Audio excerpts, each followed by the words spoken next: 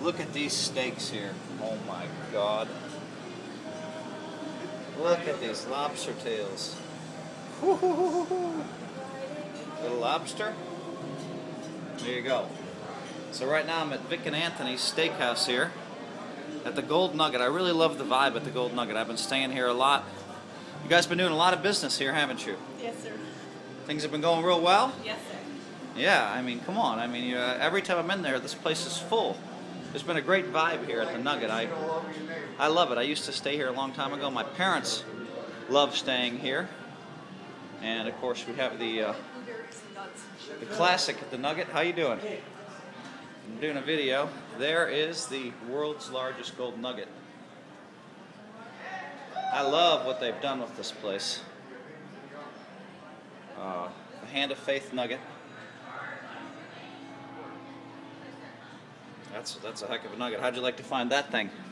There's just been a great vibe here. This place has just been full of people, and uh, I'm coming into the restaurant. There's the CEO of the Gold Nugget. We're gonna say hi to him in a second, and uh, I don't know. I I think I'm gonna be staying a lot at the Gold Nugget in the future here.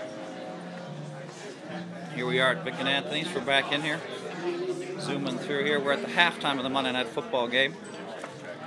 I'm just having dinner here with the CEO of the Gold Nugget, BK. How's it going, Phil? BK, this place has some starting to really. Uh, I mean, it has some great vibe, man. You guys are building.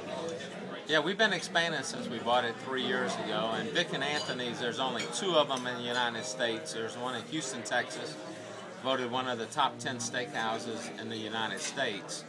And this one is just as good or better than the one in Houston. And you guys are you've come from the Landry's, you know, from Landry's has bought the Gold Nugget. I tell you, I love the Shark Tank out there too. That's. I Well, mean, the Shark Tank and then the Chart House is going to be open in November 20th, which is a Chart House with a 100,000 gallon tank. You'll be Wow. dying around the tank, so that's going to be really, really cool. I mean, too. I got, I've got to say, I mean, I really am impressed with the vibe. I mean, uh, yeah, yeah, you're buying me dinner, but but I'm impressed with the vibe. It's the place is full of people, and uh, and it seems like it's been that way. My parents stay here every December. They're coming back. They're staying a week. I mean, this is this is where they choose to stay, and uh, and and you guys spent 50 million, then 100 million, now 200 million on a new tower.